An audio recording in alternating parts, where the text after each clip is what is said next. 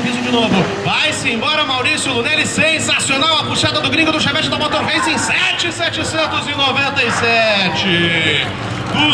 286 km por hora. Novo recorde para Maurício Lunelli. Uma